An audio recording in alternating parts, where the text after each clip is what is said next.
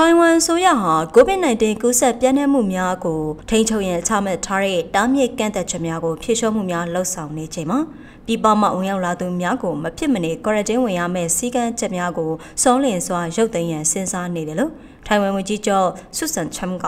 စက်တင်ဘာ16ရက်မှာပြောကြားခဲ့ပါတယ်။ အာရှနိုင်ငံအများစုမှာပြည်ပမှဝင်ရောက်လာသူများကို quarantine ဝင်ခိုင်းတဲ့စည်းကမ်းများကိုဖြေလျှော့ပေးခြင်းသို့မဟုတ်ရုပ်သိမ်းခြင်းတို့ပြုလုပ်နေတော့လဲထိုင်ဝမ်ဟာ quarantine စည်းကမ်းများကိုဆက်လက်ချမှတ်ထားခဲ့ပါတယ်။ဇွန်လကပြည်ပမှဝင်ရောက်လာသူများအတွက် quarantine ဝင်ရမယ့်သတ်မှတ်ရက်ကို9ရက်မှ3ရက်အထိလျှော့ချပေးခဲ့ပါတယ်။ ထိုင်ဝမ်မှာယခုနှစ်အတွင်းအလွန်ကူးစက်မြန် Omicron မျိုးကွဲဗိုင်းရပ်စ်ကြောင့်ပြည်တွင်းကူးစက်သူ9.8တန်းကျော်ရှိခဲ့ပြီးကူးစက်ခံရသူ69ရာခိုင်နှုန်းကျော်မှာရောဂါလက္ခဏာမပြသူသို့မဟုတ်မပြင်းထန်သူများဖြစ်ပါတယ်။ ထိုင်ဝမ်အစိုးရက quarantine စည်းကမ်းများကိုမြစ်သည့်ချိန်တွင်ပယ်ဖျက်မယ်ဆိုခြင်းကိုအတိအကျမထုတ်ပြန်သေးတော့လဲတားမြစ်ကန့်သက်ချက်များကိုပုံမတင်းကျပ်ခြင်းမပြုဘဲဖြေလျှော့ပေးနေပါတယ်။ရောဂါကူးစက်မှုများဟာတဖြည်းဖြည်းမြင့်တက်ခဲ့ပြီးလက်ရှိအချိန်မှာမျှော်မှန်းထားတဲ့နှုံနဲ့ကိုက်ညီနေတယ်လို့စုကပြောကြားခဲ့ပါတယ်။ကျွန်တော်တို့အနေနဲ့ဝင်ကြီးဌာနတွေနဲ့အစိုးရဌာနအားလုံးကိုပုံမှန်ပြန်ဖွင့်ဖို့ပြင်ဆင်နေပါတယ်။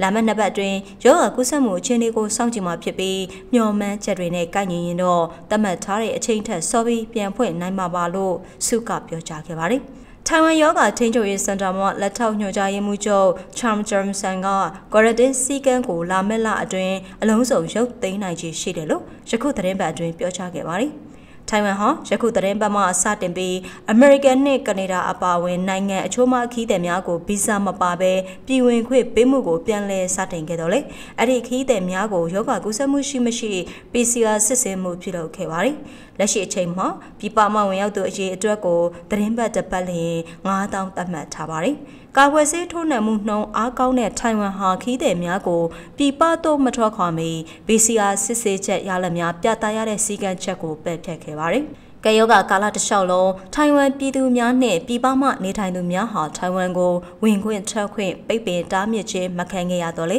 နေအိမ်သို့မဟုတ်ဟိုတယ်များတွင်ကွာရတင်းဝင်ရတဲ့စီးကပ်ကိုချမှတ်ခဲ့ပါတယ်။ ကယောဂမတိုင်မီကထိုင်ဝမ်ဟာကမ္ဘာလက်ခီးသွွားများအထူးသဖြင့်ဂျပန်တောင်ကိုရီးယားနှင့်အရှေ့တောင်အာရှနိုင်ငံများမှခီးသည်များအတွက်ရေပန်းစားတဲ့ခီးသွွားနေရာတစ်ခုဖြစ်ပါတယ်။ထိုင်ဝမ်မှာ COVID-19 ကပ်ရောဂါစတင်ဖြစ်ပွားခဲ့ချိန်ကတည်းကကူးစက်ခံရသူစုစုပေါင်း9.85တန်းခန့်ရှိကဒေဆုံးသူစုစုပေါင်း1423ရှိပါတယ်။ဒါအပြင်လူဦးရေ23တန်းကျော်နေထိုင်တဲ့ထိုင်ဝမ်မှာကိုဗစ်ကာကွယ်ဆေးအပြည့်အဝထိုးနှံပြီးသူတန်း20ကျော်ရှိပါတယ်။